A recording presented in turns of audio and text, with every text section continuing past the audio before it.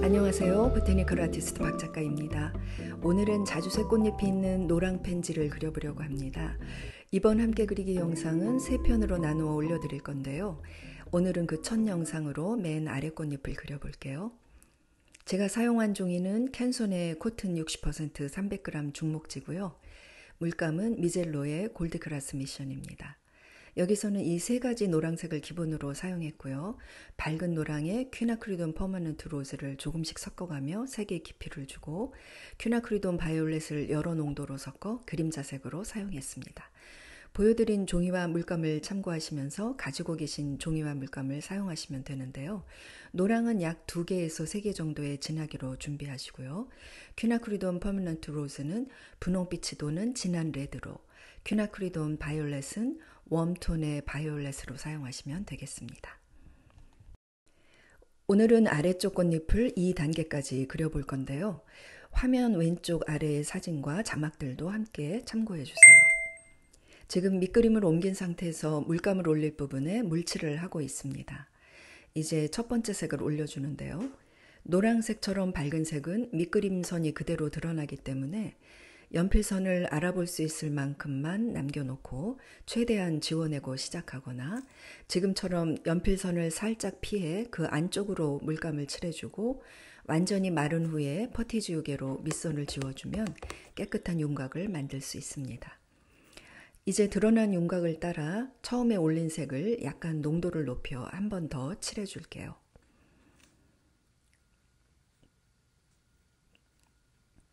이제 다음 색을 올려보겠습니다. 먼저 꽃잎 양쪽 윗부분에 접힌 부분을 피해 물칠을 해주고요. 그리고 두 번째 색을 올려줍니다. 이번에는 오른쪽에 밝은 부분을 살려두면서 주름진 부분을 따라 칠해줍니다.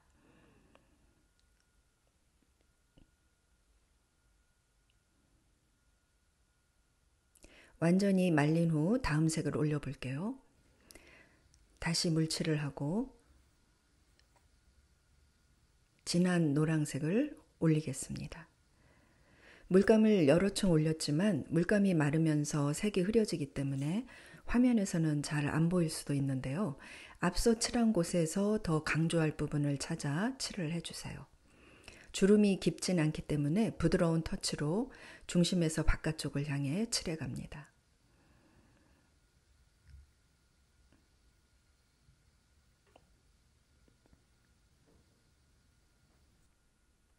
완전히 마른 후 다시 물칠을 하고 밝은 노랑에 진한 핑크를 조금 섞어 만든 워시로 조금씩 색의 깊이를 더해 갈게요.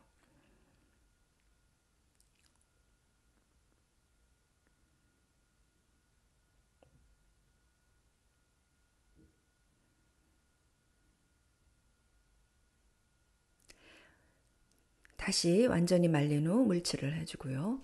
조금 더 진한 워시를 만들어 올려주면서 중심부에 색의 깊이감을 더해줍니다.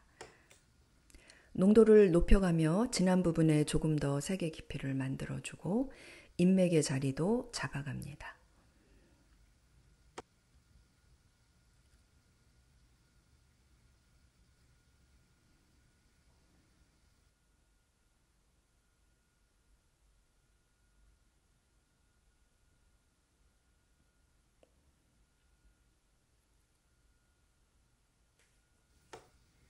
이제 다시 물칠을 하고 그림자를 넣어 볼게요. 밝은 노랑에 붉은 보라를 조금 섞어 그림자색 워시를 만들어 꽃잎 가운데에 휘어 들어간 부분과 양 끝에 꽃잎이 접힌 부분 안쪽에 넣어 주는데요. 너무 진해지지 않게 주의해 주세요.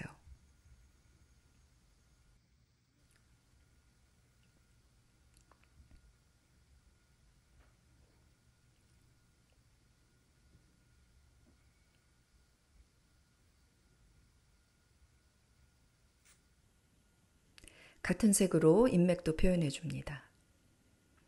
저는 붓의 끝을 이용해 가는 인맥을 그리고 있는데요. 가는 붓으로 그리셔도 좋습니다.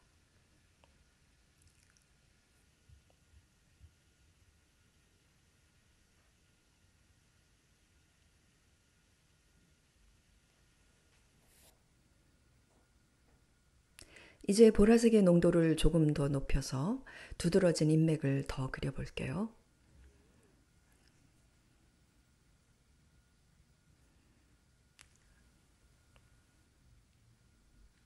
이제 중심에 있는 띠 모양의 붉은색을 넣어 보겠습니다.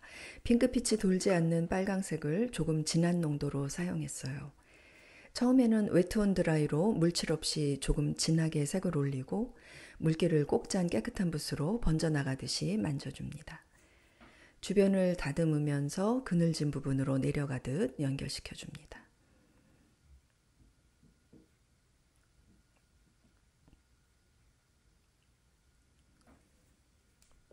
이제 맨 아래 꽃잎이 다 완성되었습니다.